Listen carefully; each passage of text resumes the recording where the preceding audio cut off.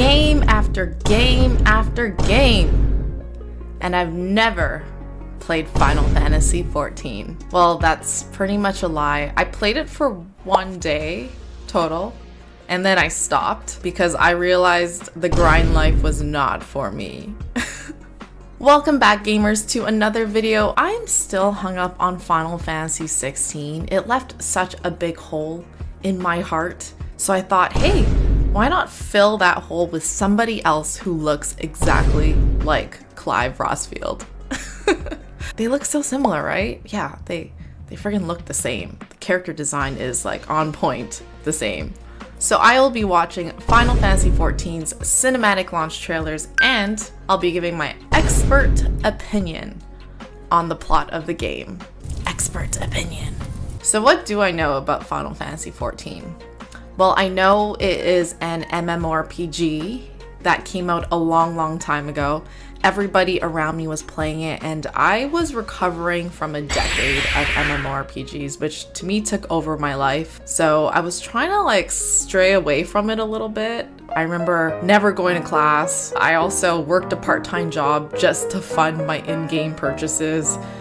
Yeah, it was a, a very rough time in my life, and I will say, those were also the best days of my life. oh yeah, I also remember setting my alarm for 6 a.m. so I can do that double XP grind. yeah. Great days, great days. okay, I digressed again. I don't even know if Final Fantasy XIV has a storyline. I suspect it does, but when I played MMORPGs, you picked a class, you did raids, you battled monsters. It was a very simple equation to the game. And I know that Final Fantasy XIV did a lot of collabs with various, various Square Enix games, such as NieR Automata. They did a NieR Automata integration, right? Right? I think so. And NieR Automata is honestly one of my favorite games. It's definitely on the top 10 list. Okay, I'm uh, digressing again, again. And it's probably because I don't know too much about Final Fantasy XIV at all. Are you surprised? Probably not.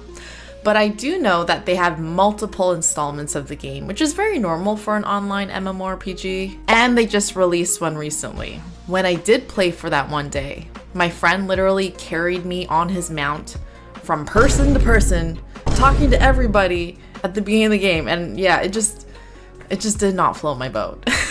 I got bored really, really fast. And it brought back so many memories of grinding that I just, yeah, I, I left that part of me in the past. Also, if you watch some of my other videos, you know I have a love-hate relationship with Square Enix.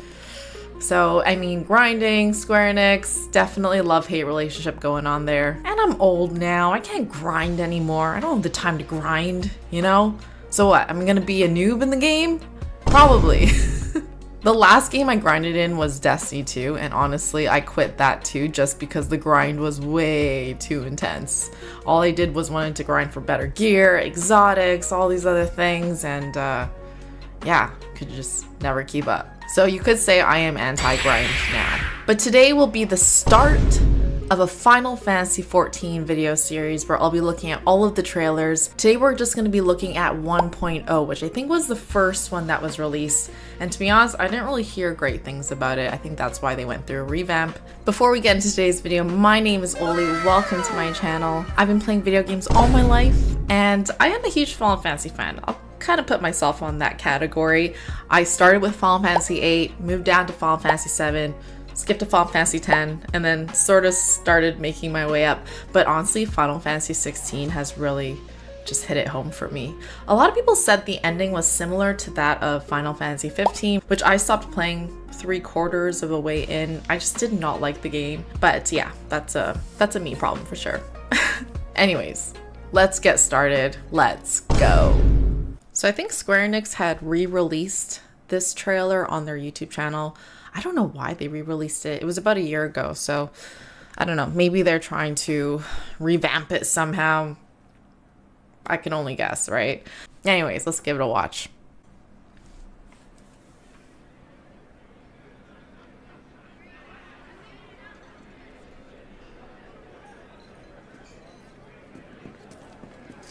Hmm. Looks like there's crystals here. And it also, I think this is the beginning location of the game, from what I remember.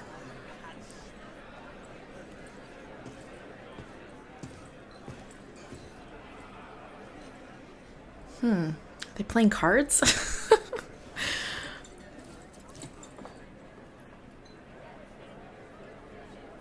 hmm. Intense battle going on.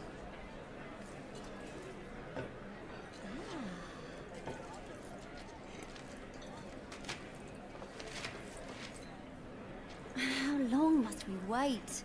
I grow weary of the company. The feeling, my dear, is mutual. Aha! What do we have here? No job is too daunting as long as the coin is good. Hmm, are those maybe bounty cards or something? My father, too. Now quiet down and help me decide. Or are they picking their class? And why does that not surprise me?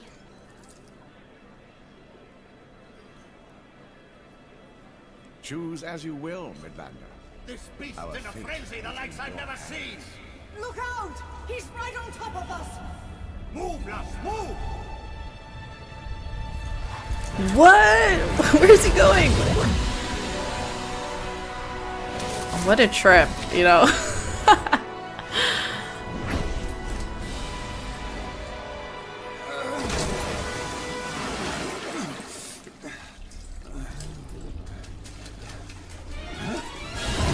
oh, Malboro!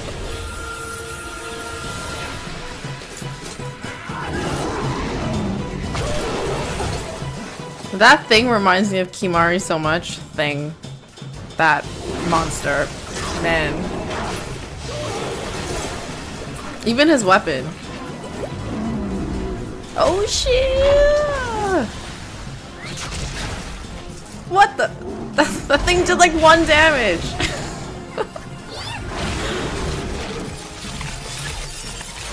He's like that noob you carry on the team.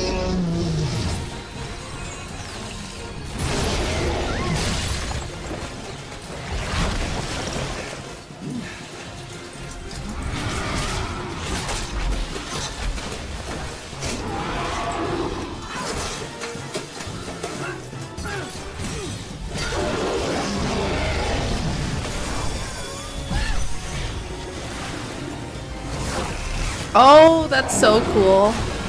If you can do that in game. Oh! Oh my god, he totally got smushed! There's no way he survived that. Psych. Final Fantasy logic. That reminds me of the battle scene from Final Fantasy 16 when you fight the Malboro at the beginning.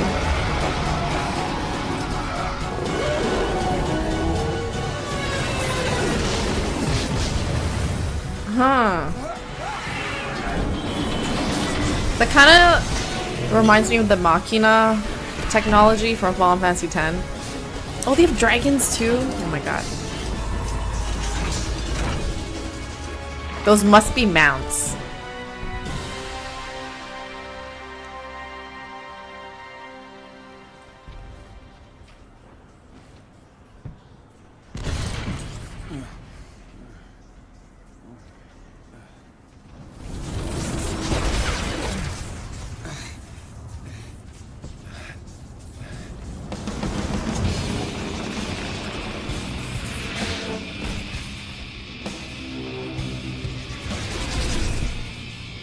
What's with this guy waking up in different places all the time?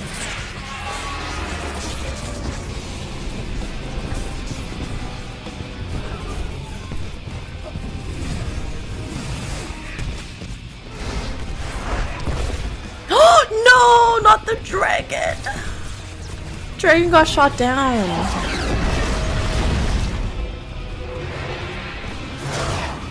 Ooh, is that Bahamut? Kinda looks like it. Hmm. Kinda looks like a flying Leviathan, actually. Yeah. I didn't really see a body there.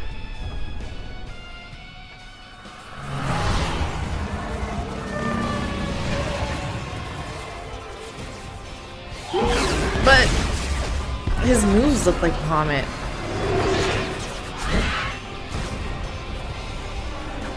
I wonder if that red ship is of the evil antagonists in the game.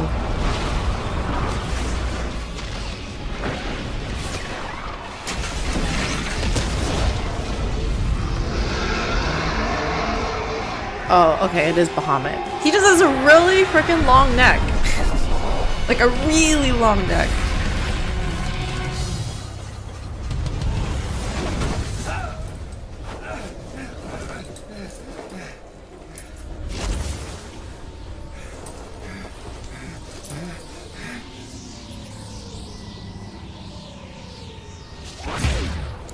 Who's that? Oh! Oh, oh, okay. I see what's going on.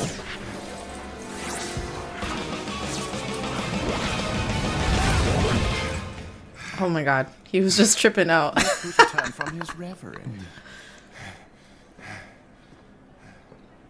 So nice of you to join us again.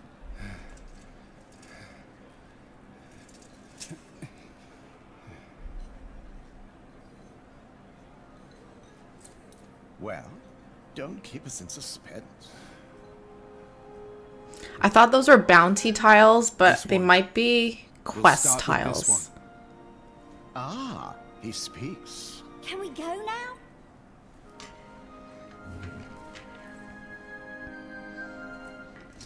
Yo, after that, I would go after another cup of ale.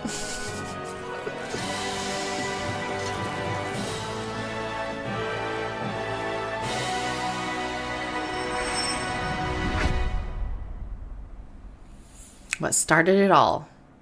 All right, all right, okay. That was really cool. I enjoyed it. My first time watching it, I enjoyed it. Let's start off with the world. So I remember when I played for that one long, long day, very long. That area where the trailer kind of started out, it looks like the main hub where everybody starts out. That dude with the white hair and the elf ears, he had this map that he laid on the table. So I'm assuming that's the map of the world where you can, you know, go around killing stuff, traveling, meeting people.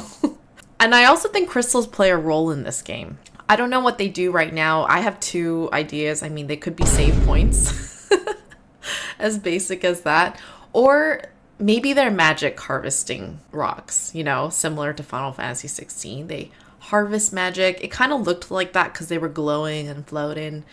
And it looks like this game has a lot of races, which very normal for an MMORPG, you know, craft your own character, make them your own. You know, guys choosing girl characters, that was a big thing back in the day. All of those things. So I think they bring all of that into this game and also I did see like the Kimahri looking type of dudes. I saw elves, I saw humans, you know, anybody. You can pick anybody. And you also have your typical classes. So I think I saw like a warrior out there. I saw he was an archer, very weak archer, but he was an archer. And then I saw a mage, which I thought was the coolest, to be honest with you. Like that mage was doing a lot. Oh, I think I also saw a healer but nobody ever picks a healer. So, but they were there.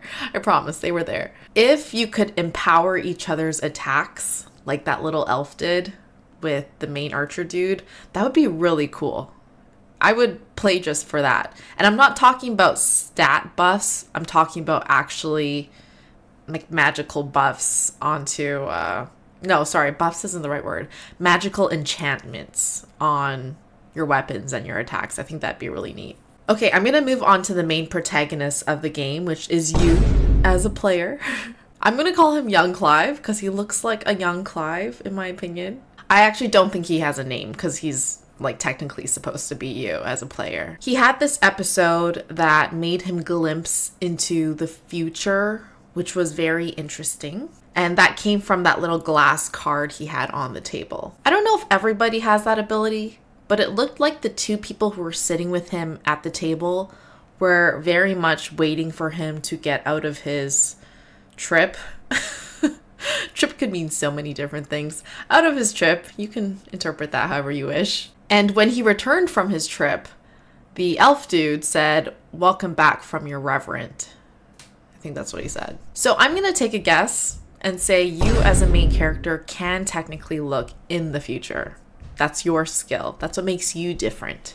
And your allies rely on you for that skill. I also thought that those glass cards, they could have been a few things. It could have been playing cards, like Final Fantasy VIII, or it could have been bounty cards. But I think after watching the whole trailer, they're almost like quests for higher cards. Because, you know, what's an MMORPG without the quest life? You know, that's what you thrive on quest life. And the little elf said, No job is too daunting as long as the coin is good. That's how I feel in real life, too. so, in my opinion, those cards ignite quests.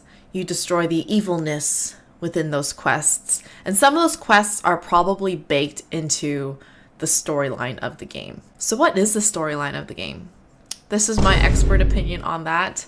I'm gonna say the storyline of the game, well, you're battling some sort of evil foe in the game for sure. I think the evil foe is that red airship that appeared near the ending of the trailer, that big battle. I don't know if it's another region or another empire or whether it carries over a similar theme, that of Final Fantasy 16, where you have magic bearers versus normal humans with no skills at all, zero skills at all.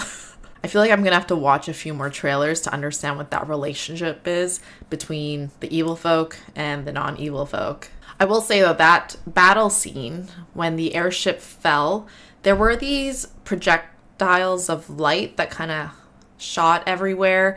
And I think I saw Ifrit in one of those projectiles that kind of like shot past the main dude. So I'm gonna say maybe whatever event that was it released some sort of power into the world. And I'm going to say those powers are summons right now because that's what it looked like to me.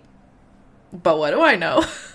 but if they're not summons, they could technically be big bosses. I don't know. I don't know if you can actually summon in this game or whether summons are kind of this, I don't know, big boss thing that you go and kill and raid and, you know, get loot. Typical MMORPG style if you can actually summon summons, that might be a bit cheap in the game. But it's also Final Fantasy, so that's kind of the concept around summons. You can summon them into battle. I don't think I've played a Final Fantasy game where you couldn't summon or transform into some sort of summon. Yeah, I don't know. I'm gonna have to figure that one out as we go on. So yeah, something's been released into the world. So, my final thoughts on the storyline you're battling this big evil group. I'm not even gonna call them an organization. Something releases into the world that probably would be bad because, you know, it's probably not good. and your job as this dude with this foresight ability is to go support the takedown of that evil organization with your one damage arrow shots and destroy these summons or rein in the power of the summons. That's still TBD. You gotta figure that out. All right, that wraps up my expert opinion on this trailer. Next time, we're actually gonna move into A Realm Reborn. That's the next installment of this game. Would I play this game? I'm probably gonna pause that till a few more trailers in. I've already tried playing this game and yeah, like I said, grinding is not for me. So stick around for Realm Reborn next time. I'm very much looking forward to it.